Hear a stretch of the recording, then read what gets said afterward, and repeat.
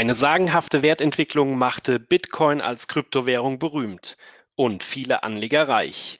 Doch in den vergangenen Monaten rutschte der Bitcoin-Kurs kräftig ab. Seit Jahresbeginn halbierte sich der Wert der nach Anlagevolumen immer noch größten Internetwährung. Aktuell ist ein Bitcoin 6.600 US-Dollar wert. Wie geht es jetzt weiter? Welche Zukunft hat Bitcoin noch? Gibt es eine zweite Chance für Bitcoin-Anleger? Im heutigen Online-Seminar wollen wir Antworten auf diese Fragen geben und Mythen, Halbwahrheiten, Hoffnungen und Ängste rund um Bitcoin endlich richtig einordnen. Guten Abend und herzlich willkommen zu diesem Finanzen-Net-Webinar. Mein Name ist Markus Gentner, ich bin Ihr Moderator und ich freue mich, dass Sie mehr über Bitcoin erfahren wollen, der nach wie vor polarisiert. Für die einen ist Bitcoin die Währung der Zukunft, für die anderen nicht mehr als eine riesige Blase. Die Idee hinter Bitcoin ist besonders spannend und zukunftsweisend, sagt Dr. Cyrus de la Rubia. Er ist Devisenexperte und Chefvolkswirt der HSA Nordbank und in diesem Bitcoin-Webinar unser Gast. Herr de la Rubia, willkommen bei Finanzen.net, willkommen zu diesem, wie ich finde, sehr, sehr spannenden Webinar. Ja, vielen Dank. Ähm, ja, ich freue mich auch, dass äh, ich die Gelegenheit habe, hier äh, dieses Thema präsentieren zu dürfen. Mein Name ist Cyrus de Rubia, ich bin Chefvolkswirt von der Hasa Nordbank und beschäftige mich jetzt seit einiger Zeit mit Bitcoin, weil es technologisch den Grundstein äh, für eine neue Dimension im Internet legen kann. Das klingt sehr spannend und wir sind wirklich auf Ihre Ausführungen sehr gespannt. Herr de la Rubia, ich hatte es eben schon gesagt, Sie sind Chefvolkswirt der HSA Nordbank und Devisenexperte. Was müssen unsere Zuschauer noch über Sie wissen? Können Sie sich ganz kurz vorstellen? Und noch eine wichtige Frage, die Sie direkt mit beantworten können. Warum ist denn genau jetzt der richtige Zeitpunkt für ein Bitcoin-Webinar? Ja, ich bin jetzt ähm, seit über 20 Jahren im Finanzmarktgeschäft tätig, ähm, habe äh, seit 2005 äh, bin ich bei der Hasa Nordbank, seit 2012 Chefvolkswirt dort und habe mit vielen internationalen Kunden zu tun, die im Übrigen auch äh, an äh, Bitcoin und äh, Kryptowährung auch interessiert sind. Und insofern ähm, ist das natürlich für mich auch ein Ansporn, mich damit intensiver auseinander, auseinanderzusetzen und äh, dort äh, einen Durchblick zu bekommen und diesen Durchblick auch gerne zu vermitteln. Ja, warum gerade jetzt? Ähm, eine gute Frage. Hm, Tatsache ist, dass Bitcoin auch nach neun Jahren immer noch existiert, obwohl es schon mehrfach totgesagt wurde. Es ist die erste Kryptowährung. Sie hat einen gewissen Benchmark-Stand äh, äh, erhalten äh, vom Sicherheitsstatus her. Alle anderen Kryptowährungen werden an dem Sicherheitsstandard von Bitcoin gemessen. Und äh, wenn man verstanden hat, wie Bitcoin funktioniert, dann kann man auch beurteilen, ähm, wie gut oder schlecht andere Kryptowährungen äh, sind, wie sicher oder unsicher andere Kryptowährungen sind.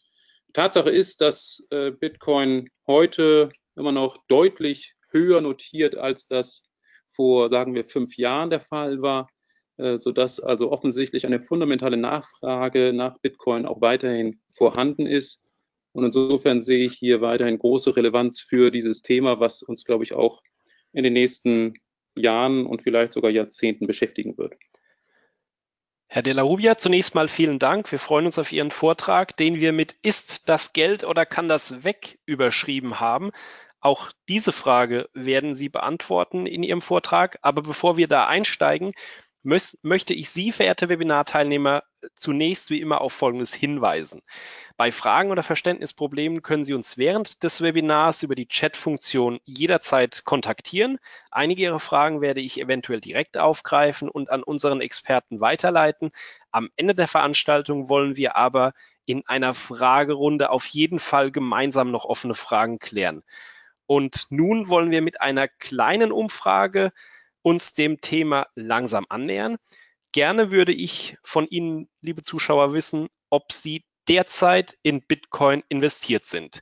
Ich lege Ihnen die Umfrage nun mal direkt auf den Bildschirm und Sie können mit abstimmen. Dafür bedanke ich mich jetzt schon. Ihre Antwortmöglichkeiten sind ganz einfach, nämlich Ja oder Nein. Um die Frage mit Ja zu beantworten, ist es übrigens egal, ob Sie echte Bitcoins an einer Kryptobörse gekauft haben, beziehungsweise ob Sie echte Bitcoins derzeit auf einem Wallet gespeichert haben oder ob Sie mittels CFDs oder Zertifikaten an der Entwicklung von Bitcoin profitieren. Wichtig ist nur, wenn Sie mit Ja antworten, dass Sie derzeit in Bitcoin investiert sind. Also es geht nicht darum, ob Sie vor mehreren Monaten mal kurz Bitcoin besessen haben, sondern ob Sie tatsächlich jetzt noch Bitcoin besitzen. Und ich bin wirklich schon sehr gespannt, was bei dieser Umfrage herauskommt, die ich nun auch schon wieder schließen werde. Wir haben die Umfrage fast eine Minute stehen gehabt und es haben fast drei Viertel der Webinarteilnehmer mit abgestimmt. Und das Ergebnis der Umfrage werde ich nun Ihnen allen sichtbar machen. Auch Herr Della Rubia, Sie können nun auch das Ergebnis sehen. Fast zwei Drittel unserer Webinarteilnehmer besitzen keine Bitcoins beziehungsweise sind nicht in Bitcoins investiert, aber mehr als ein Drittel schon. Also ich finde das sehr spannend, diese Antwort und auch unsere Gruppe an Webinarteilnehmern ist sehr spannend, wie ich finde. Was sagen Sie dazu, Herr Della Rubia? Ja, das ist interessant, äh, interessantes Ergebnis, weil ich hätte eigentlich äh, das umgekehrte Verhältnis erwartet. Ähm, aber es zeigt, dass äh, für mich, so interpretiere ich das, dass viele äh, Teilnehmer auch äh, entweder überlegen, jetzt vielleicht mit Bitcoin etwas zu machen. Das muss ja auch gar nicht investieren sein. Das kann ja auch tatsächlich äh, die Idee sein, damit tatsächlich Transaktionen durchzuführen. Ähm, oder eben einfach es reizvoll finden, die Technik hinter dieser zukunftsweisenden Technologie auch äh, zu verstehen. Und äh, ich hoffe, dass äh, ich den Erwartungen äh, der meisten Teilnehmer hier auch gerecht werden kann. Oder viele haben natürlich auch vielleicht mit Nein geantwortet, weil sie derzeit keinen Bitcoin besitzen, aber vielleicht schon mal Besitzer von Bitcoins waren oder jetzt auf möglicherweise eine zweite Chance für ein Investment warten, wer weiß. Sie, Herr Della Rubia, werden uns jetzt gleich darüber aufklären, ob es denn eine zweite Chance gibt, beziehungsweise was denn Bitcoin überhaupt zukunftsweisend und nach wie vor spannend macht. Ich würde Sie gerne mal zum Moderator ernennen, dann können Sie uns Ihren Bildschirm übertragen. Sie müssten nun ein Fenster bei Ihnen sehen. Da können Sie einfach auf OK drücken und dann werden wir alle Ihren Bildschirm sehen. Das klappt wunderbar. Vollbild haben wir auch. Dann wünsche ich Ihnen, verehrte Zuschauer, viel Spaß mit Dr. Cyrus Della Rubia und seinen Ausführungen zu Bitcoin. Sie dürfen gerne übernehmen, Herr Della Rubia. Ja, vielen Dank, Herr Gender. Ja, Bitcoin, äh, da drehen sich meistens die Ängste und Hoffnungen um den Preis. Da gibt es die gewagtesten Preisprognosen. 500.000 Dollar im Jahr 2030. Das ist eine dieser sehr gewagten Prognosen, mit dem man auf jeden Fall in die Schlagzeilen gelangt ist. Und es gibt natürlich auch die größten Schwarzseher, die sagen, das alles ist ein großes Betrugsschema ähm, und äh, ist nicht zukunftsträchtig. Und dann gibt es auch die Menschen, bei denen es gar nicht so sehr um die Frage geht, ob sie mit Bitcoin reich werden, sondern ob sie mit Hilfe von Bitcoin ihr Vermögen vielleicht retten können. Bleiben wir noch kurz bei der Frage, ob es sich um eine Preisblase handelt oder nicht. Ähm, ich glaube, dass ein relativ breiter Konsens, um jetzt um äh, eine Preisblase zu definieren, darüber besteht, dass es eine Internetblase gab, die sich äh, im Jahr 2000 äh, bis zum Jahr 2000 aufgebaut hat, insbesondere an der Börse Nasdaq, wo ja die Technologiewerte und Internetunternehmen versammelt sind. Und wenn man sich das mal anschaut und das dann wiederum ins Verhältnis setzt zu der Entwicklung von Bitcoin, dann kann man sehen, da hat sich was aufgebaut im Bitcoin-Bereich, was schon epische Ausmaße sozusagen hat äh, und deutlich ausgeprägter ist, als das bei der Nasdaq äh, der Fall war. Jetzt schauen wir uns an, wie es weitergeht. Ähm, ja, da könnte man auch sagen, da ist auch jetzt noch Luft nach unten ähm, bei Bitcoin. Was auf jeden Fall feststeht, ist, ja, wir haben es wahrscheinlich mit der Preisblase zu tun, aber, und das ist wichtig, es bedeutet nicht automatisch, dass das unterliegende Asset keinen Nutzen hat. Die Internetblase ist ja das beste Beispiel dafür, dass ähm, das unterliegende Asset, also die Werte, die dort auch gehandelt wurden, keineswegs alle äh, keinen Nutzen hatten, sondern da haben sich ja einige sehr stark durchgesetzt. Bitcoin ist also wesentlich mehr als ein Spekulationsobjekt. Ähm, und um sich eine Meinung dazu zu bilden, ob Bitcoin auch noch in 10 oder 20 Jahren da sein wird, ist es notwendig zu verstehen, wie Bitcoin grundsätzlich funktioniert. Und darum soll es vor allem in diesem Webinar gehen. Was also ist Bitcoin und wie funktioniert es? Gehen wir mal ein paar Leitsätze sozusagen durch. Äh, Definition Bitcoin. Bitcoin ist eine Sammlung von Konzepten und Technologien, die ein Ökosystem für digitales Geld bilden. Also digitales Geld, das ist hier das wichtige Schlagwort. Hm, bei Bitcoin ist das direkte Verschicken von Geld über das Internet möglich. Ähm, das war bisher nicht möglich. Und auch ganz wichtig, wir brauchen dafür keine Mittelsmänner. Also wir brauchen dafür keine Finanzinstitute, die diese, dieses direkte Verschicken ermöglichen. Und schließlich hinter Bitcoin steht nicht eine Institution, nicht eine zentrale Institution, sondern ein dezentrales Netzwerk. Also Bitcoin löst im Prinzip ein Problem, das mindestens so alt ist wie das Internet. Denn was man bisher gehabt hat, man konnte zwar alle möglichen Daten über das Internet von einer Person an die nächste direkt verschicken, nicht aber Geld. Und jetzt werden Sie vielleicht sagen, naja, wieso? Ähm, es gibt doch genug Möglichkeiten, äh, Geld zu verschicken. Das läuft über Kreditkartenzahlung, Banküberweisung, PayPal und so weiter. Ja, aber in diesen Fällen haben sie stets jemanden dazwischen geschaltet. Das sind eben Kreditinstitute, die dazwischen geschaltet sind. Direkte Peer-to-Peer-Überweisungen sind gar nicht möglich. Zumindest in dieser alten Welt nicht. Eine Bank, ein Finanzinstitut, ein Fintech, stets ist jemand zwischen Zahler und dem Empfänger einer Zahlung. Mit Bitcoin aber gibt es diese Mittelsmänner nicht. Sie können also direkt von einer elektronischen Geldbörse dem sogenannten Wallet, einen bestimmten Betrag an Bitcoin an eine andere Geldbörse bzw. Wallet eines anderen Menschen überweisen. Jetzt fragt man sich, warum war das eigentlich bislang nicht möglich? Wenn ich eine digitale Währung in Form von digitalen Daten definiere, und das hat man in den 90er Jahren auch durchaus probiert, diese Ansätze, dann laufe ich stets die Gefahr, dass diese Daten gefälscht werden können, so als ob ich Geld imitiere, das ich mit einem einfachen Kopierer nachmachen kann. Die Erfolgsaussichten für ein derartiges Geld, das können Sie sich vorstellen, sind gleich null. Die Frage ist also, was macht Bitcoin anders? Bitcoin macht fast alles anders. Und an dieser Stelle muss ich Sie vielleicht etwas warnen, denn jetzt wird es für einige Minuten etwas technisch, sage ich mal. Nicht, dass man es nicht verstehen könnte, aber leichte Kost ist es auch nicht. Ähm, gehen wir mal da mal äh, rein. Und zwar bei Bitcoin ähm, wird jede Transaktion, und das ist eben was Besonderes, jede Überweisung von einer Bitcoin-Adresse an die andere wird aufgezeichnet. Die erste Zahlung erfolgte im Jahr 2009. Damals hat der Erfinder von Bitcoin, Satoshi Nakamoto, die ersten 50 Bitcoins geschaffen und, an eine andere Adresse, die er vermutlich äh, für einen Freund oder Bekannten geschaffen hat, einen Teil dieser Bitcoins überwiesen. Und von dort aus hat es sich dann ausgebreitet.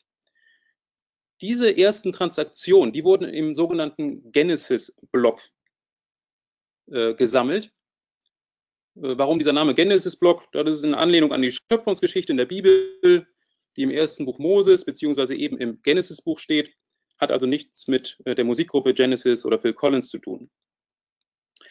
So, jede Transaktion, die mit Bitcoin durchgeführt wird, wird jetzt zunächst verifiziert, dann in einen Block gesammelt und anschließend wird der Block versiegelt. Und es wird dann ein neuer Block an diesen Block angefügt, in dem erneut Transaktionen gesammelt werden. Also kann man sich das hier so ganz schematisiert vorstellen. Da kommen neue Blöcke hinzu und da sind in jedem Block sind etwa 1000 bis 2000, manchmal auch 2500 Transaktionen versammelt. So, ich habe gesagt, jede Transaktion wird verifiziert, also auf ihre Konsistenz letztendlich überprüft. Das heißt, derjenige, der die Bitcoin überwiesen hat, muss tatsächlich auch über genügend Bitcoin verfügen, um diese Überweisung zu tätigen. Äh, vereinfacht gesagt kann man auch sagen, im Bitcoin-System kann man nicht sein Konto überziehen. Wenn man die Bitcoin nicht besitzt oder sie schon anderweitig ausgegeben hat und versucht, sie doppelt auszugeben, dann wird diese Transaktion vom Netzwerk abgelehnt und fließt eben nicht in den Block mit ein. Jetzt ist die Frage, wie überprüfe ich, ob die Zahlung konsistent ist, ob da diese, Block, äh, diese Bitcoin überhaupt überwiesen werden dürfen. Nun, ich gehe als äh, derjenige, der das überprüft, alle Transaktionen, tatsächlich alle Transaktionen oder die Software geht das durch, vom Genesis-Block, also vom ersten Block starten bis heute durch und kann dann daraus ableiten, ableiten aus den Salden, wie viel Bitcoins bei der Adresse XY sein müsste. So, das kann man jetzt hier fortsetzen. Das ist eine schematisierte Blockchain, die natürlich auch viel kürzer ist als die in der Realität. In der Realität gibt es 530.324 Blöcke und es werden täglich mehr. Das hier ähm, ist ein Datum von, vom 3. Juli. Da waren es 530.324 Blöcke. Und jeder Block hängt mit dem anderen zusammen und diese Kette kann zumindest nicht ohne weiteres aufgebrochen werden. So, jetzt schauen wir uns mal etwas näher die Blöcke an und vergrößern das etwas und gehen mal die einzelnen Schritte durch, wie so eine Transaktion letztendlich überprüft wird. Zunächst im ersten Schritt werden, ich vielleicht einmal kurz dazwischen grätschen. Wir haben eben diese ja, ganz lange Schlange der Blockchain gesehen oder diese lange Kette. Ja. Wir haben passend dazu eine Frage aus dem Plenum, nämlich kann die Blockchain unendlich lang werden durch die Ansammlung von Transaktionen? Gibt es ein Limit und wirkt sich die Länge der Blockchain vielleicht auf die Geschwindigkeit der Transaktionen aus? Können Sie uns dazu vielleicht etwas mhm. sagen? Also unendlich lang.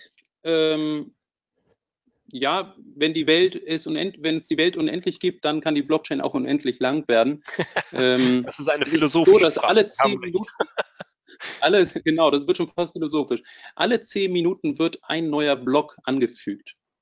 Und ähm, jetzt ist es so, dass, äh, dazu komme ich gleich nochmal genauer auch hin, dass die, die sogenannten Miner werden mit äh, Bitcoin belohnt, wenn sie einen solchen Block ähm, äh, versiegeln und, und schürfen.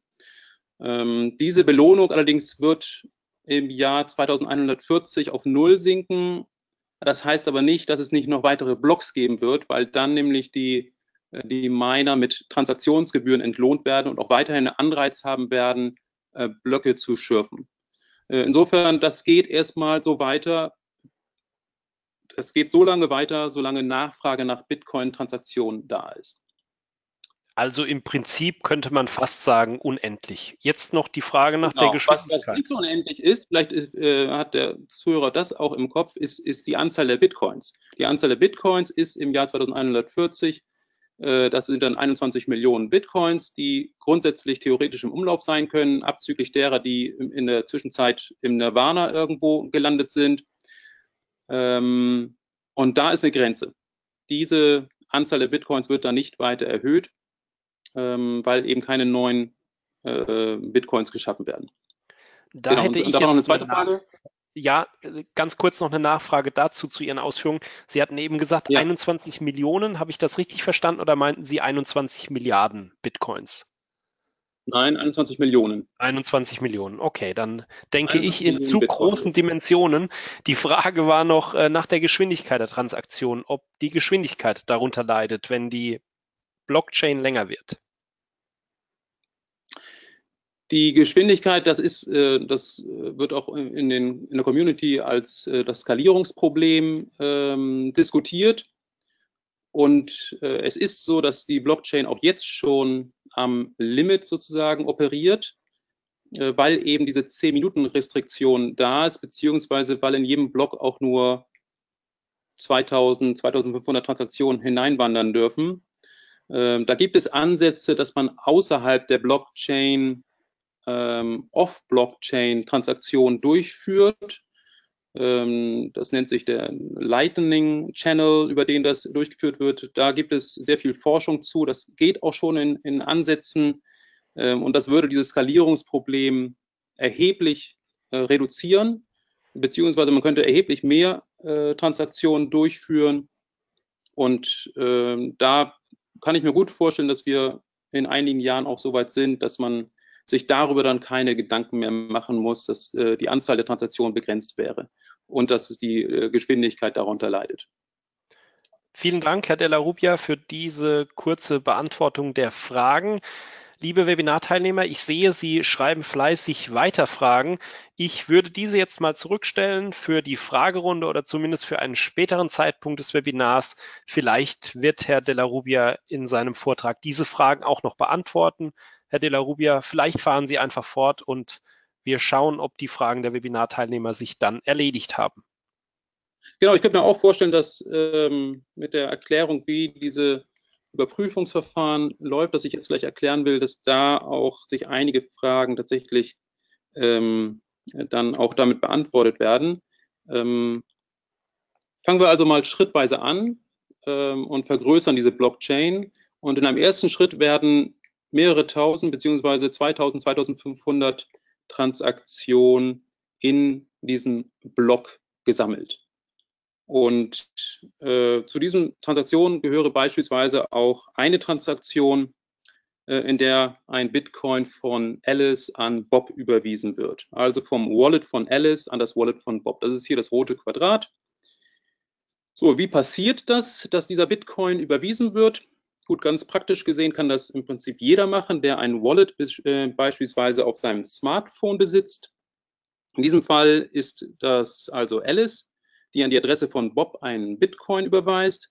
Diese Adresse ist eine öffentliche Adresse, so etwas wie eine IBAN. Allerdings muss Alice die Transaktion noch mit einem privaten Schlüssel signieren und das ist am ehesten vergleichbar mit einer PIN-Nummer. Und mit dieser Signatur ist das Netzwerk darüber informiert, dass die Transaktion tatsächlich auch von Alice genehmigt wurde.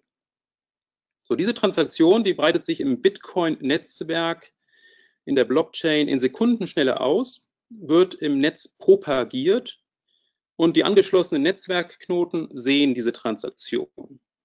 Diese Transaktion ist allerdings noch nicht bestätigt, wird aber schon in einem Block auf, aufgenommen. Man kann im Übrigen im Netz beobachten, welche Transaktionen gerade auf eine Bestätigung warten, beziehungsweise welche Transaktionen gerade bestätigt, äh, getätigt wurden. Gehen wir zurück zu der äh, zu dem Ausschnitt der Blockchain. Ähm, wenn der Block jetzt mit konsistenten, also validen Transaktionen gefüllt ist, beginnen die sogenannten Miner. Das sind die Unternehmen, die ja, Computer, Server haben mit entsprechender Software gefüttert. Ähm, diese Miner beginnen um die Wette einen bestimmten Hash-Wert zu generieren, beziehungsweise ein kryptografisches Rätsel zu lösen. Und der erste Miner, der diesen Hash bzw. Hashwert generiert, erhält eine Belohnung von derzeit 12,5 Bitcoin. Das sind derzeit umgerechnet immerhin 70.000 Euro. Diese Bitcoin werden praktisch aus dem Nichts geschaffen. So, jetzt ist vielleicht nicht jedem klar, was ein Hashwert ist. Ein Hash ist eine Folge, und Sie sehen das hier, das wird äh, eine Folge von Buchstaben und Zahlen, und das wird an das Ende dieses Blocks angefügt. Und im Internet können Sie auch sogenannte Hash-Generatoren aufrufen, wo Sie einen Input reingeben und Sie bekommen einen Hash mit, in diesem Fall der SHA-256 Hash, der bei Bitcoin verwendet wird, von 64 Stellen, eine Folge von Buchstaben und Zahlen von 64 Stellen. So, das ist das Geheimnis dieses, äh, dieses Hashs. Ganz egal, was ich oben als Input eingebe. Hier habe ich eingegeben, Bitcoin ist das Geld oder kann das weg. Ich könnte auch Hallo eingeben. Ich könnte auch das gesammelte Werk von Otto Walkes eingeben. Es würde immer eine 64-stellige Folge von Buchstaben und Zahlen herauskommen. Kann das hier nochmal veranschaulichen. Ich ergänze diesen Satz einfach mit einem Ausrufezeichen. Und Sie sehen, ich gehe davon aus, dass Sie sich den Hash gemerkt haben. Ähm, nein, ich habe auch nochmal den alten Hash hier noch dazugefügt. Sie sehen, es kommt ein vollkommen neuer Hash heraus und man kann aus dem alten Hash, äh, aus, dem, aus dem Hash auch nicht ableiten, was denn als Input auch hineingegeben wurde. So, jetzt ist es so, dass die Miner aufgrund des Regelwerks von Bitcoin dazu angehalten sind oder äh, aufgefordert sind, einen bestimmten Hash mit bestimmten Eigenschaften zu finden. Und dafür müssen sie praktisch Billionen, Quadrillionen von Möglichkeiten versuchen, um diesen bestimmten Hash-Wert zu finden. Dazu braucht man brutale Kapazitäten, äh, Computerkapazitäten und Rechnerkapazitäten. Und das ist natürlich auch ein sehr energieintensiver Vorgang. Und der erste der Miner, die hier erfolgreich sind, ähm, der erste der Miner, der hier erfolgreich ist, der äh, bekommt diese Belohnung und trägt diese Information in das Netzwerk der Miner hinein. Und diese müssen mit einer Mehrheit von 50 Prozent die Lösung akzeptieren. Dann wird der Block angefügt und der erfolgreiche Miner bekommt diese Belohnung. Äh, und die anderen Miner fangen an, den nächsten Block zu schürfen. Also wieder einen bestimmten Hash zu finden. So, jetzt geht es also weiter. Es werden wieder Tausende, äh, 2000 äh, Transaktionen gesammelt in einem Block. So, und jetzt ist hier wichtig, dass der neue Block, der beginnt mit dem Hash des vorangegangenen Blocks. Sie sehen also, hier sind die beiden Hashes identisch. Und hier findet im Prinzip die Verkettung der einzelnen Blöcke statt. Und diese Kette kann eben auch nicht mehr gelöst werden. So, jetzt geht es weiter, werden wieder Transaktionen gesammelt und erneut. So, und jetzt wird ja immer behauptet, und da kommen wir zum Kern der Blockchain, dass die Blockchain so sicher ist von Bitcoin, dass die Bitcoin-Blockchain so sicher ist. Und das möchte ich kurz anhand einer Transaktion erklären, die hier mit dem Braunquadrat ähm, gekennzeichnet ist. Nehmen wir an, jemand möchte diese Transaktion manipulieren. Das sei gekennzeichnet durch dieses grüne Quadrat. So, das Geheimnis ist, dass jede Veränderung in dem Block den Hashwert verändert. Das heißt, sobald diese grüne, dieses grüne Quadrat auftaucht, verändert sich der Hashwert, der am Ende dieses Blocks steht. Und damit stimmt dieser Hashwert von dem Ende des Blocks nicht mehr mit dem Anfangshash von dem nächsten Block äh, überein. Und das merken die Blockchain-Teilnehmer und lehnen die Manipulation ab. Die grüne Transaktion verschwindet wieder. Es bleibt bei der ursprünglichen äh, Transaktion. Und deswegen spricht man auch davon, dass ein Block jeweils mit einem Hashwert versiegelt wird. Die Aufgabe der Miner ist es also, die Transaktion sicher zu machen. Sie beweisen im Prinzip durch den Aufwand, den Sie betreiben, um die richtigen Hash zu finden, dass, die Trans dass Sie die Transaktion vorher überprüft haben. Also das ist äh, ein wichtiger Punkt. Man muss verstehen, wenn die Miner beim Überprüfen der Transaktion, das ist im Prinzip gar nicht so aufwendig, aber es muss eben gründlich gemacht werden, wenn die dabei schluren bzw. nachlässig sind, dann kann es zwar sein, dass ein Miner einen Hash findet, der die gewünschten Bedingungen erfüllt, wenn aber die anderen Miner feststellen, dass ein, eine der Transaktionen nicht valide ist, die in diesem Block ist, dann werden sie diesen Block nicht akzeptieren und der ganze Aufwand, den der Miner betrieben hat, ähm, der war dann umsonst. Das heißt, er hat Geld sozusagen aus dem Fenster geworfen. Und das ist im Grunde genommen das Grundprinzip des Proof of Work. Man beweist die Validität der Transaktion durch Arbeit beziehungsweise durch Computerkapazität, durch den Kauf von entsprechender, dem dahinterstehenden Kauf von, von Hardware und der, äh, den Energieausgaben, die man damit hat. Wenn dieser Block versiegelt ist, dann wird äh, dieser neue Block im Netzwerk propagiert und dieses Netzwerk, das kann man sich schematisiert so vorstellen, ähm, und die Miner, die aktualisieren jetzt die Blockchain und jeder hat dann äh, in diesem Netzwerk nach wenigen Sekunden die identische Blockchain auf seinem Server. Lassen Sie mich jetzt kurz zusammenfassen, ähm, was ich bisher dargestellt habe. Äh, vorher gehen wir noch kurz auf, auf dieses Bild ein. Ähm, das ist äh, sozusagen eine, äh, ein Bild, wo die Struktur der der Miner äh, dargestellt wird. Es gibt verschiedene Mining Pools. Ähm, und einige äh, Beobachter kritisieren, dass die Konzentration der Mining Pools relativ hoch ist. Ähm, sicher ist es so, dass ähm, einige Mining Pools relativ hohe Anteile, Marktanteile haben, aber es ist auch so, dass an diesen Mining Pools unterschiedliche Anleger sozusagen beteiligt sind und insofern das nicht alles äh, in der Hand eines ähm, äh, Besitzers sozusagen ist. Aber lassen Sie mich jetzt mal kurz im Zwischenfazit und einer Zusammenfassung ähm, zusammenfassen, was bisher sozusagen ähm, ich zu Bitcoin gesagt habe. Also Bitcoin ist ein verteiltes Peer-to-Peer-System ohne zentralen Server oder Kontrollpunkt. Bitcoins werden in einem als Mining bezeichneten Prozess erzeugt, bei dem die sogenannten Miner danach streben, als erster die Lösung für ein kryptografisches Rätsel zu finden.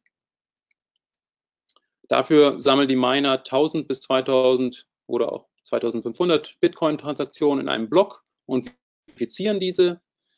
Um den Block als verifiziert in das Netzwerk bzw. die Blockchain einstellen zu können, muss ein Hash mit bestimmten Eigenschaften erzeugt werden. Das kostet eben sehr viel Arbeit. Das ist die Proof of Work Geschichte. Und der Miner, der den entsprechenden Hash als erster findet, erhält eine Belohnung in Form einer festgelegten Menge an Bitcoin. Ich glaube, das ist jetzt auch ein ganz guter Zeitpunkt, ähm, um eine kleine Umfrage dazwischen zu schalten. Ähm, genau, Herr De La Rubia, wir, genau. genau, wir haben eine Umfrage vorbereitet und würden Sie, liebe Webinarteilnehmer, gerne nochmal interaktiv in das Webinar einbinden. Die nächste Umfrage lautet, und ich würde mich wieder sehr freuen, wenn Sie so zahlreich mitmachen wie bei unserer ersten Umfrage. Die Frage lautet, ist Bitcoin Geld? Und da ist nun Ihre Meinung gefragt. Dazu werden wir gleich noch im Vortrag kommen, ob Bitcoin wirklich als Geld bezeichnet werden kann. Sie können auch hier wieder reinklicken und Ja, Nein teilweise wählen und zur Überbrückung, während Sie abstimmen, hätte ich an Herrn Della Rubia wieder eine Frage aus dem Plenum, die vielleicht ganz gut passen könnte. Ein mhm. Webinarteilnehmer hat gefragt, warum denn die Bitcoin überhaupt ähm, auf eine bestimmte Anzahl gedeckelt sind. Warum soll es denn nur 21, nur in Anführungszeichen, 21 Millionen Bitcoins geben? Welchen Grund gibt es dafür? Ich glaube, der Grund liegt darin, dass ähm, der Satoshi Nakamoto, der ja ein anonymer Erfinder ist, äh, dessen echter Name auch mir zumindest nicht bekannt ist, ähm, dass der dieses äh, neue Geldsystem auch in Reaktion auf die Finanzmarktkrise äh, gegründet hat. Und in der Finanzmarktkrise und in Reaktion auf die Finanzmarktkrise wurde ja, haben ja Zentralbanken sehr viel Geld gedruckt ähm, ohne limitiert zu sein. Und äh, ich glaube, ein, ein Punkt, der auch gerne eben von Vertretern, von Fans von Bitcoin immer wieder genannt wird, ja, seht her, hier kann eben kein Schindluder getrieben werden, man kann hier nicht diskretionär willkürlich äh, die Geldmenge erhöhen, sondern das ist begrenzt und das gibt doch eine Sicherheit, dass da immer eine gewisse Werthaltigkeit drin ist, so die Argumentation.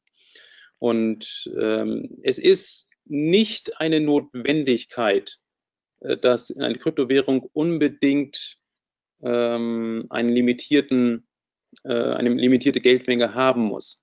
Das ist aber im Protokoll der, von Bitcoin so angelegt. Ähm, alle vier Jahre halbiert sich sozusagen die Belohnung, die äh, die Miner bekommen. Die ja, derzeit sind das 12,5 ähm, Bitcoin pro Block. Anfangs waren das 50, nach vier Jahren waren es dann 25, jetzt sind es 12,5 und das reduziert sich immer weiter. Und auf diese Weise äh, werden irgendwann keine neuen Bitcoins geschaffen. Das ist im Jahr 2140 der Fall und damit ist dann die äh, Grenze auch erreicht, wo es keine neuen Bitcoins mehr gibt. Vielen Dank, Herr Della Rubia, auch für die Beantwortung dieser Fragen. Die Umf dieser Frage, die Umfrage habe ich bereits geschlossen und übertrage nun das Ergebnis an Sie alle. Ist Bitcoin Geld? Haben 40 Prozent unserer Webinarteilnehmer mit Ja beantwortet, 32 Prozent mit Nein und 29 Prozent mit teilweise. Wenn wir jetzt das mal uns anschauen, dann sieht es doch sehr ausgeglichen aus hier mit den Antworten. Also mhm. anscheinend ist sich unser Plenum nicht ganz sicher, ob Bitcoin Geld ist. Wir mhm. werden gleich in Ihren Ausführungen hören, ob Sie denn Bitcoin als Geld bezeichnen würden. Aber hätten Sie die Umfrage, das Umfrageergebnis so erwartet, dass das so ausgeglichen ist, oder hätten Sie sich eine Antwort bei Nein oder bei Ja eher vorgestellt, eine deutlichere Antwort?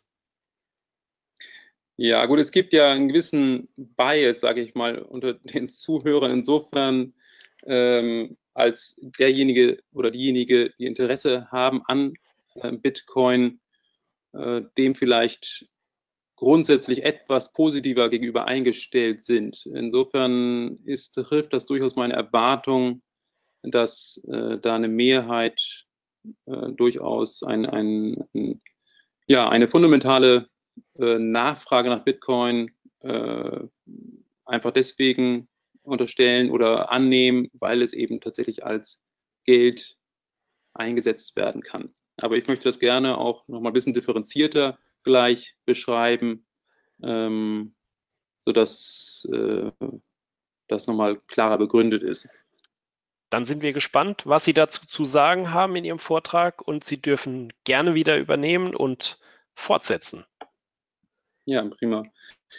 Ähm, ja, das ist ja eigentlich die eigentliche Fragestellung auch. Ist äh, Bit, äh, Bitcoin Geld oder kann das weg? Ähm, in Anlehnung an Joseph Beuys. Hm, Geld soll ja so beispielsweise die Bundesbank mehrere Funktionen erfüllen, im Prinzip drei Funktionen. Geld soll als Zahlungsmittel funktionieren, als Recheneinheit dienen und als Wertaufbewahrungsmittel. Und aus der Sicht eines Bürgers, der in einem ja doch sehr modernen Land wie Deutschland lebt, wird man wahrscheinlich viele Fragen oder alle, fast alle Fragen mit Nein oder einem eingeschränkten Nein beantworten. Ähm, Zahlungen sind noch relativ kompliziert, abgesehen davon, dass es nur wenige Stellen gibt, die Bitcoin akzeptieren. Lieferando ist da immer ein gern genommenes Beispiel, aber richtig in der Breite ist das noch nicht der Fall. Ähm, als Wertaufbewahrungsmittel ist es nicht unbedingt zu empfehlen angesichts der großen Wertschwankungen und ich kenne ehrlich gesagt auch noch niemanden, der Bitcoin als Recheneinheit nutzt. Wenn man allerdings einen Perspektivwechsel unternimmt, dann stellt sich die Angelegenheit schon etwas anders dar. Und zwar ähm, habe ich hier mal die Währung von einigen Schwellenländern abgetragen. Und zwar ist das die Wertentwicklung der jeweiligen Währung gemessen in US-Dollar über die vergangenen 25 Jahre. Im Jahr 1993 hat man im Prinzip für 100 Dollar eine Währung, eine dieser Währungen gekauft, von den Philippinen, dem brasilianischen Real oder dem venezolanischen Bolivar und so weiter. Und hat und scha schaue dann, wie nach 25 Jahren, also einer Generation, ähm, was davon noch übrig bleibt. Und Sie sehen, ein Großteil dieser Währungen hat einen Wertverlust von 90, 95 oder sogar 100 Prozent erlitten. Deswegen Perspektivwechsel. Wenn Sie jetzt jemanden aus Venezuela oder Indonesien oder Argentinien fragen, ob die heimische Währung ein gutes Wertaufbewahrungsmittel ist, dann werden Sie wahrscheinlich eine andere Antwort bekommen, eben als das in Deutschland der Fall ist. Oder fragen Sie, ob der Bolivar, die venezolanische Währung, eine, die Zahlungsmittelfunktion erfüllt. Dort herrscht Inflation von 2000 Prozent, und zwar im Monat.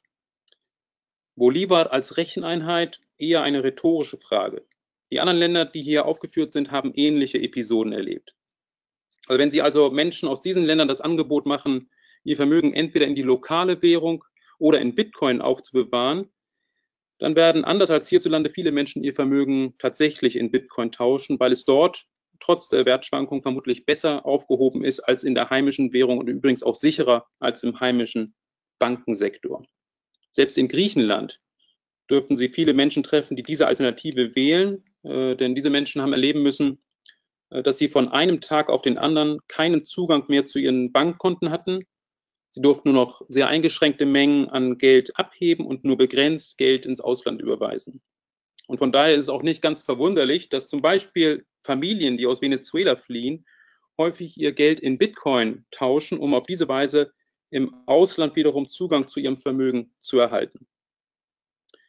Abgesehen davon, dass das für Schwellenländer ein interessantes Medium ist und äh, dort auch tatsächlich Geldfunktionen übernimmt, kann man sich vorstellen, dass Bitcoin auch hierzulande ein Zahlungsmittel wird.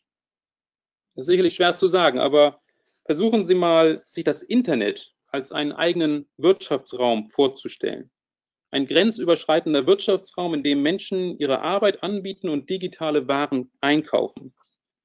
Es ist nicht vollkommen abwegig, dass sich hier ein Raum etablieren könnte, in dem Menschen mit Bitcoin bezahlt werden und das auch akzeptieren, weil sie damit auch gleichzeitig wieder einkaufen können. Und je größer dieser Wirtschaftsraum wird, desto bedeutsamer wird diese transnationale Währung werden. Soweit sind wir noch nicht. Und ich kann auch nicht sagen, ob und wann es soweit sein wird. Aber klar ist, man muss angesichts des Potenzials dieser neuen Technologie, die ja auch Eingang findet in anderen Blockchain-Technologien, sozusagen out of the box denken. Jetzt gibt es einige Fragen, die immer wieder auftauchen, wenn ich über Bitcoin spreche. Und zwei davon möchte ich ansprechen und dann gerne das Forum für weitere Fragen eröffnen. Die eine Frage ist, ist Bitcoin durch den hohen Energiebedarf nicht zum Scheitern verurteilt? Und die andere Frage ist, Immer wieder werden Bitcoin-Börsen gehackt. Wie passt das zu der Aussage, Bitcoin sei sicher vor Angriffen? Fangen wir mit dem Energiebedarf an. Da gibt es die äh, ja, erstaunliche Schlagzeile, dass im Jahr 2020 der Weltenergiebedarf durch Bitcoin aufgesaugt wird. Ist natürlich nicht, ähm, äh, hat eine gewisse Polemik, diese Überschrift. Hm, wenn man mal schaut, wie hoch der Energiebedarf ist, der weltweite Bitcoin-Stromverbrauch, dann gibt es sehr unterschiedliche Schätzungen. Ich habe mal hier eine mitgebracht, die aussagt, dass der weltweite Bitcoin-Stromverbrauch in etwa anderthalb Prozent des Stromverbrauchs der USA, äh, dass es dem entspricht. Oder wenn man es mit dem Stromverbrauch der Tschechischen Republik vergleicht, dann wären es ungefähr 90 Prozent. Man kann es auch in einem anderen Verhältnis sehen.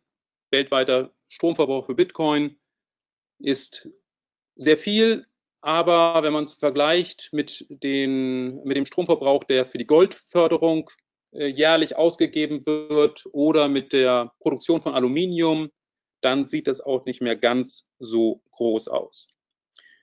Gut, Tatsache ist aber, dass der Stromverbrauch durch Bitcoin Mining in den letzten Jahren stark zugenommen hat, dass es äh, bedeutsame Niveaus erreicht hat.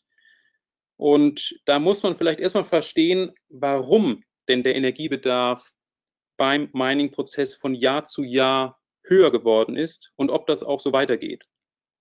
Dazu einige Punkte. Erstens, es ist kein Naturgesetz, dass der Stromverbrauch für Bitcoin steigen muss. Ich möchte jetzt nicht zu sehr in die Technik äh, in die technischen Details einsteigen, aber man kann sagen, ganz simpel, je höher der Bitcoin-Preis ist, desto größer ist der Anreiz, sich als Miner zu betätigen und desto größer ist der Energieverbrauch.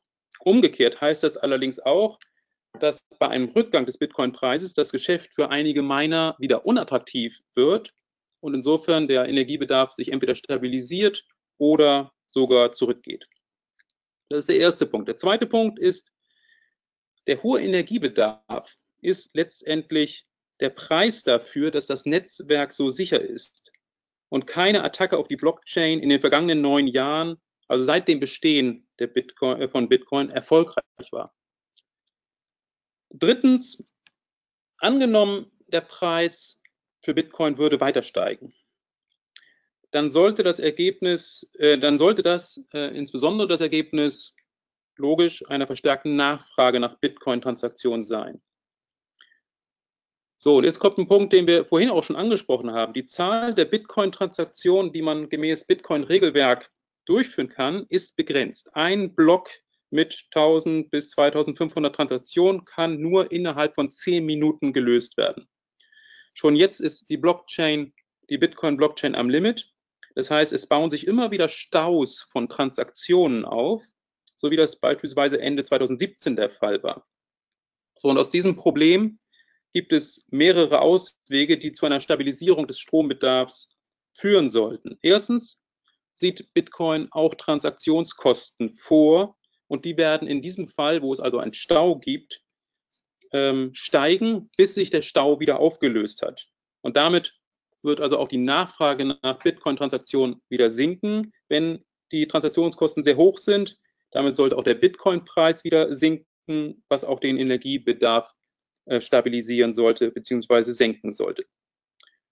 Zweitens ähm, gibt es unter dem Stichwort Skalierbarkeit, das ist auch, was wir vorhin angesprochen haben, äh, Transaktionen, äh, die Möglichkeit, Transaktionen außerhalb der Blockchain durchzuführen.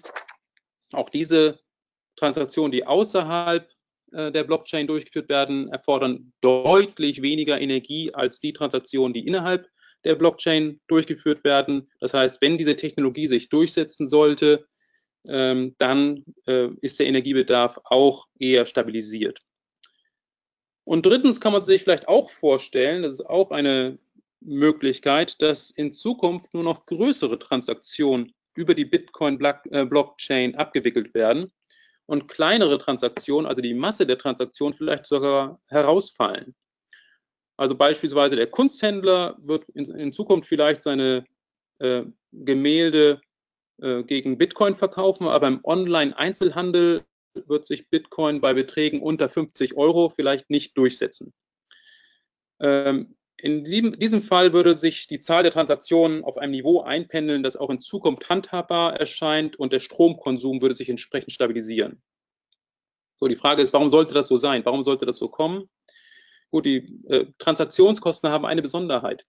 Sie orientieren sich nicht an dem Bitcoin-Betrag, sondern sie orientieren sich an der Datenmenge, die mit den eingespeisten Transaktionen verbunden ist. Und insofern kann es also gut sein, dass die Datenmenge, die bei einer Beweisung von 100 Bitcoin ähm, mit Transaktionskosten belegt wird, äh, dass diese Datenmenge vielleicht sogar kleiner ist als eine Transaktion mit zwei Bitcoin, die aus ganz vielen kleinen Spendensammlungen beispielsweise äh, sich zusammensetzt und daher eine größere Datenmenge in sich birgt. Kurz, größere Beträge werden relativ geringer belastet. Und das führt dann dazu, dass äh, größere Transaktionen sich vielleicht in Zukunft eher äh, durchsetzen in Bitcoin-Transaktionen, was dann entsprechend auch den Strombedarf stabilisiert. Das ist also zu der Frage. Kommen wir zu der zweiten Frage. Ähm, immer wieder hört man, dass das Bitcoin-Börsen gehackt werden und gleichzeitig wird auch immer gesagt, dass die Bitcoin-Blockchain so sicher ist. Da gibt es verschiedene Meldungen immer wieder. Äh, gibt es äh, da etwas? Die kurze Antwort auf diese Frage ist im Prinzip eine Analogie. Wenn Sie einen fälschungssicheren Geldschein haben, dann ist dieser davor geschützt, dass er gefälscht wird. Aber er ist nicht davor geschützt, geklaut zu werden. Übertragen auf Bitcoin heißt das, dass die Bitcoin-Börsen, äh, die die Bitcoin für den Kunden verwahren, dass die offensichtlich nicht immer ausreichend gegen Hacker geschützt sind. Das hat aber nichts mit der Bitcoin-Blockchain zu tun. Wenn Sie sich davor schützen müssen, äh, möchten, dann müssen Sie die Bitcoin, die Sie bei einer Börse halten, auf Ihr privates Wallet überweisen, das Sie beispielsweise auf dem Smartphone haben. Wenn Ihnen das noch nicht sicher genug ist, und bei den Wallets gibt es in der Tat auch unterschiedliche Sicherheitsniveaus, dann können Sie die Bitcoin auf ein sogenanntes Code Wallet übertragen. Das ist ein Datenträger, der nicht mit dem Internet verbunden ist. Ähm, das ist entweder eine Festplatte auf einem Computer, der nicht mit dem Internet verbunden ist, oder kann auch sogar ein Stück Papier sein, wo Sie die privaten Schlüssel eintragen. Soweit zu diesen beiden Fragen. Herr Gender, wir haben jetzt noch eine letzte Umfrage. Genau, wir haben noch eine letzte Umfrage vorbereitet, liebe Webinarteilnehmer. Und auch da möchte ich Sie nochmal bitten, Ihren Finger zu bewegen und ihn auf den Mauszeiger oder beziehungsweise Ihren Finger auf die Maus zu bewegen und zu klicken. Die Frage ist, wird es Bitcoin in 20 Jahren noch geben? Wir haben von Herrn De La Rubia nun verschiedene Ausführungen gehört über die technische Seite und auch die Seite, ob Bitcoin denn als Geld bezeichnet werden kann oder wie Bitcoin im Vergleich zu echten Währungen dasteht. Sie haben die Ausführungen gehört und nun wollen wir mit dieser Frage noch einen Blick in die Zukunft werfen und ich würde oder wir würden sehr gerne erfahren, wie Sie darüber denken. Gibt es Bitcoin noch in 20 Jahren? Ja, nein oder vielleicht haben Sie dazu keine Meinung, dann klicken Sie die dritte Antwort, weiß ich nicht. Und die Umfrage steht relativ lang schon. Ich gebe Ihnen noch drei, zwei, eins Sekunden und schließe nun die Umfrage. Das Ergebnis übertrage ich direkt an Sie alle. Zwei Drittel unserer Webinarteilnehmer glauben, dass es den Bitcoin in 20 Jahren noch geben wird.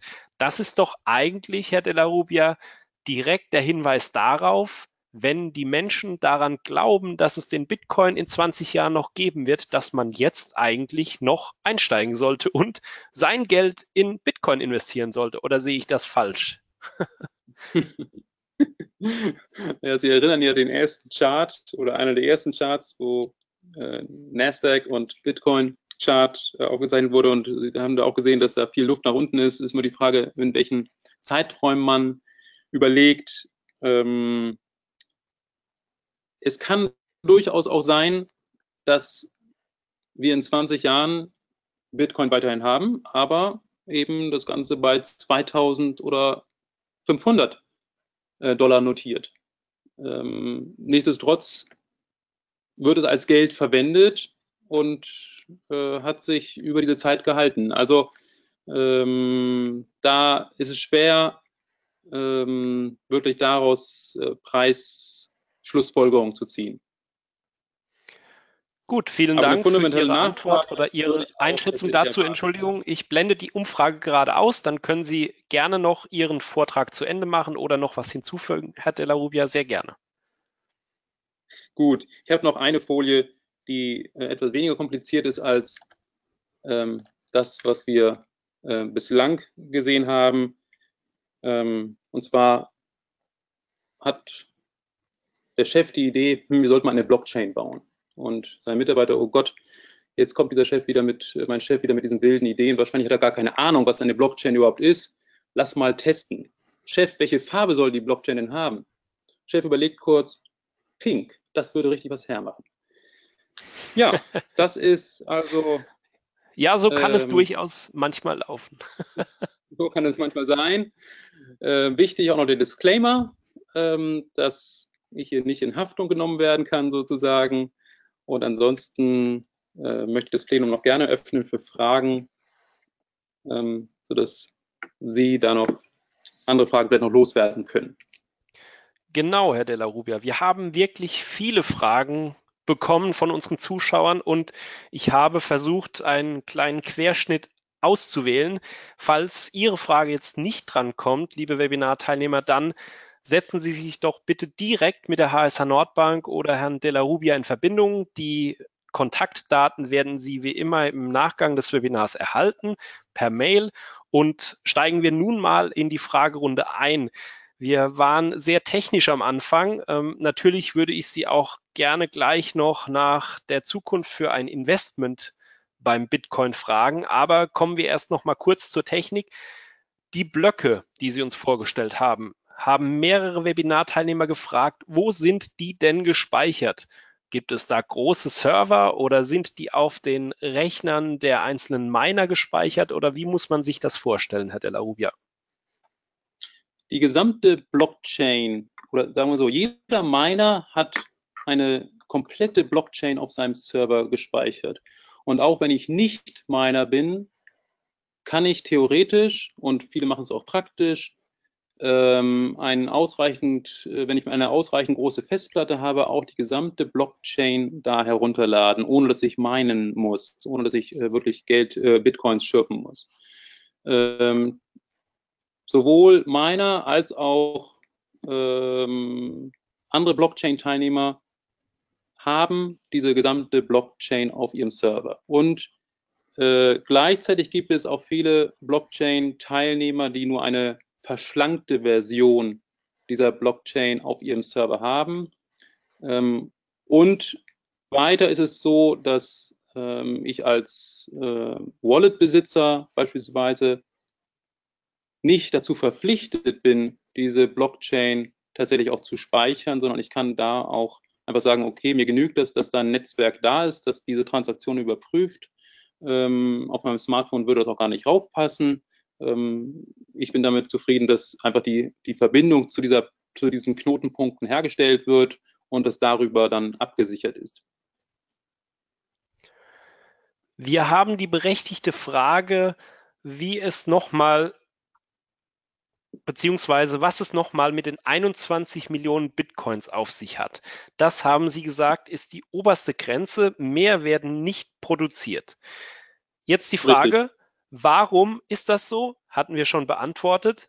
Kann es aber sein vielleicht, ja. dass diese Bitcoins nicht bis zum Jahr 2140 reichen, weil vielleicht irgendein reicher Mensch kommt und gleich mal äh, 15 Millionen dieser Bitcoins kauft? Ist das möglich oder gibt es ein Limit für jede einzelne Transaktion?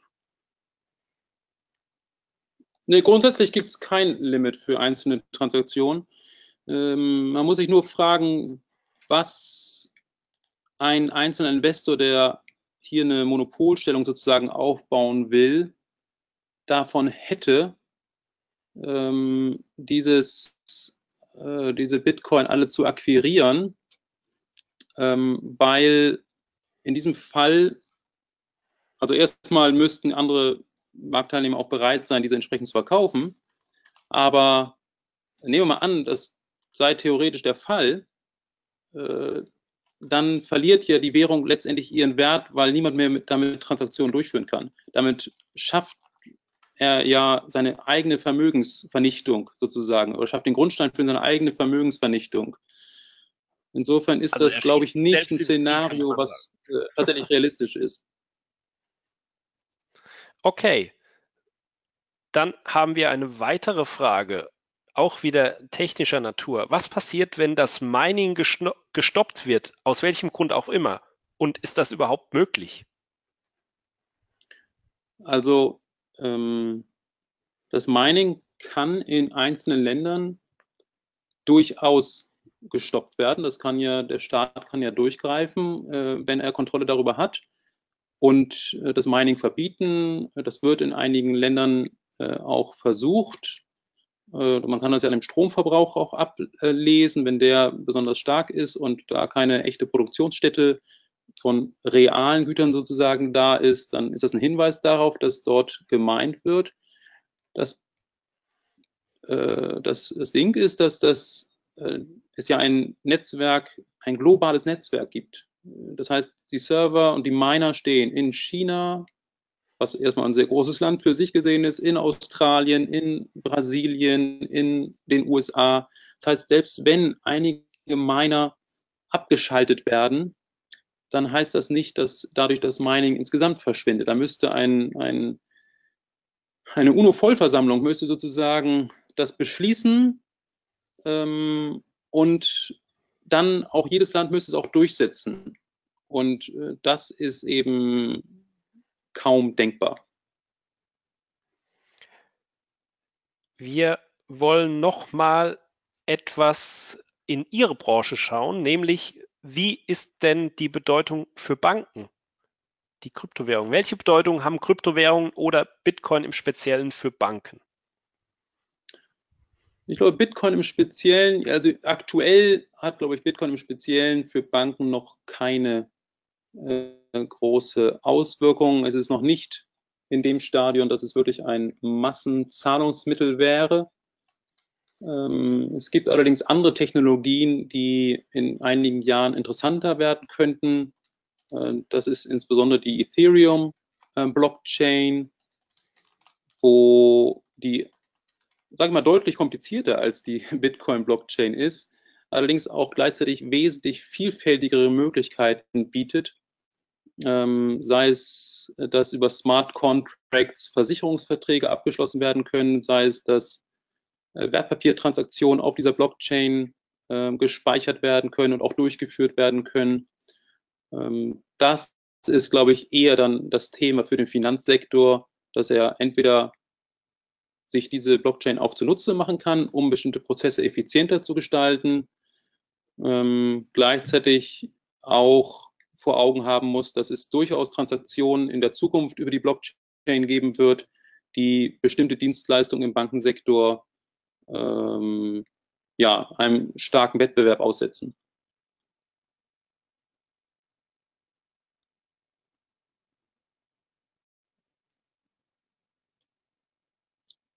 Herr Getter, sind Sie noch da?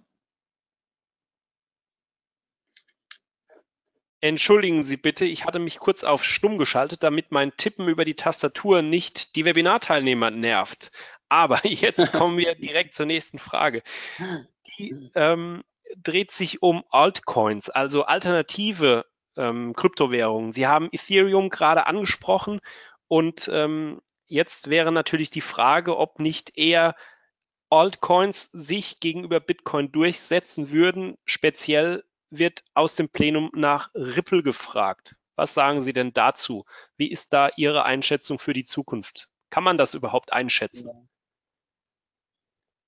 Also speziell, also vorweggeschickt, ich habe mich jetzt mit Ripple nicht besonders intensiv auseinandergesetzt. Ähm, was mir bekannt ist, dass Ripple ähm, etwas anders aufgebaut ist als die klassische Kryptowährung, insofern als ähm, sämtliche Ripple auf einen Schlag emittiert wurden und im Besitz der Betreiber des Ripple-Zahlungssystems äh, ist.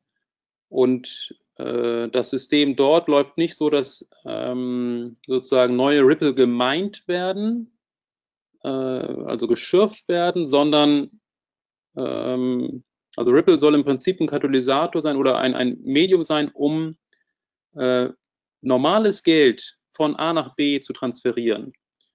Ähm, das soll dann äh, mit einem Netzwerk von angeschlossenen Banken passieren.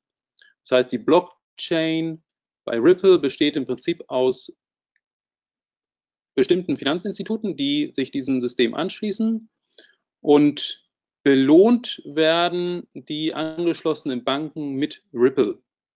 Äh, für jede Transaktion, die sie durchführen, bekommen sie Ripple äh, zugewiesen und diese Ripple haben am Markt einen bestimmten Wert. Und äh, insofern muss dieses Geschäftsmodell, glaube ich, sehr stark, ähm, ja, man muss einfach schauen, wie nachhaltig das Geschäftsmodell per se ist. Aber das hat mit äh, Kryptowährung äh, im klassischen Sinne, so wie das Bitcoin ist, mh, mm, nicht so viel zu tun, sondern diese Ripple sind im Prinzip ähm, ja eine Wette darauf, dass dieses Geschäftsmodell der reibungslosen Überweisungen und schnelleren Überweisungen über so ein Blockchain-Netz von Banken, dass das funktioniert und dass das die klassischen Zahlungssysteme in Zukunft nicht unbedingt ablöst, aber doch den Marktanteile wegnimmt. Ja, Herr de la Rubia, auch vielen Dank für die Beantwortung dieser Frage. Wir sind schon nach 19 Uhr, wir haben schon nach 19 Uhr, aber eine ganz entscheidende Frage, glaube ich, darauf warten viele in unserem Plenum, möchte ich Ihnen dann doch noch zum Abschluss stellen. Ich weiß nicht, ob Sie diese beantworten können und wollen. Es ist natürlich auch schwer in die Zukunft zu sehen. Dennoch die Frage, wie schätzen Sie die weitere Kursentwicklung von Bitcoin ein? Würden Sie jetzt Bitcoin kaufen, ja oder nein? so einfach machen Sie es mir. ja, also, äh, also,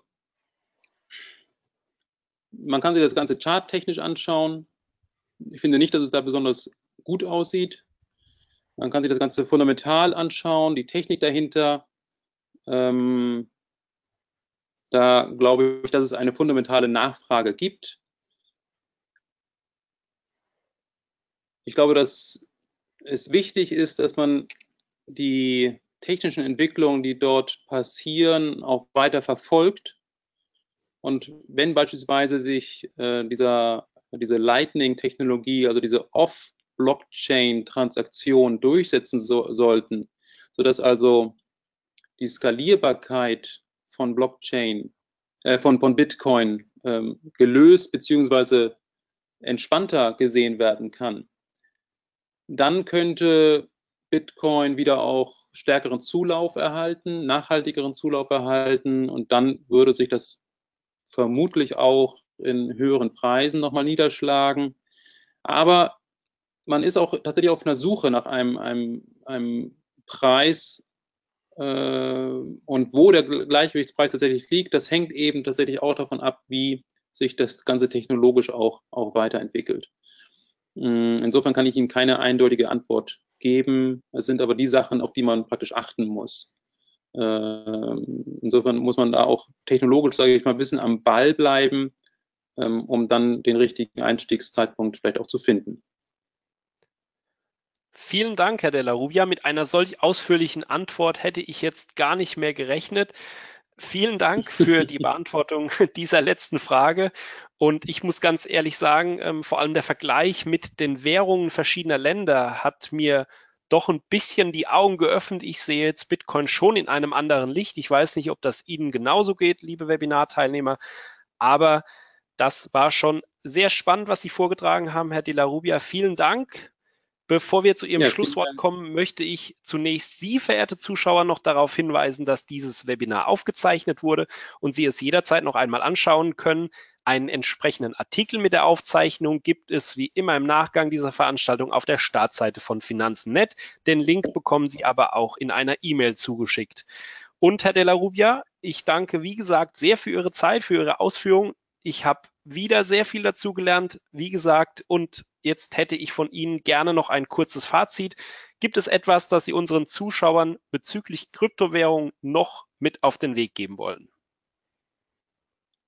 Ja, es gibt eine Sache und zwar ähm, glaube ich, dass man tatsächlich sich die Mühe machen muss, in die, wenn man, wenn man in Kryptowährung anlegt, dass man sich die Mühe machen muss, die Technik hinter diesen, hinter diesen Kryptowährungen, die auch teilweise auch sehr unterschiedlich ist, äh, zu verstehen. Und äh, es gibt einen ganz äh, wichtigen Punkt, ähm, um nicht auf Betrugsfälle hineinzufallen. Das ist einfach, wenn eine Kryptowährung einem eine bestimmte Rendite garantiert, dann garantiere ich Ihnen, dass, es, dass da irgendwas faul ist.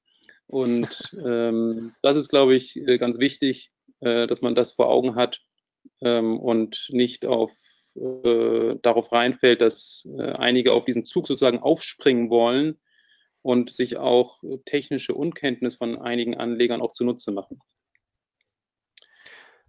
Ja, Insgesamt möchte Dank. ich mich aber jedem ja. Fall äh, bei allen Zuhörern bedanken. Hat mir Spaß gemacht und äh, bis zum nächsten Mal. Vielen Dank, Herr De La Rubia. Mir hat es auch sehr viel Spaß gemacht. Sie waren mal wieder ein toller Gast und ich freue mich bereits, dass wir uns bald an Ort und Stelle wieder treffen. Ich wünsche Ihnen bis dahin alles Gute und nun natürlich noch einen schönen Abend. Und auch bei Ihnen, verehrte Zuschauer, möchte ich mich für Ihre Teilnahme und Ihre Aufmerksamkeit an diesem Webinar bedanken. Ich verabschiede mich. Bis zum nächsten Mal. Ihnen allen einen schönen Abend und viel Erfolg bei Ihren künftigen Investments, ob mit Bitcoin oder ohne. Tschüss, bleiben Sie uns gewogen.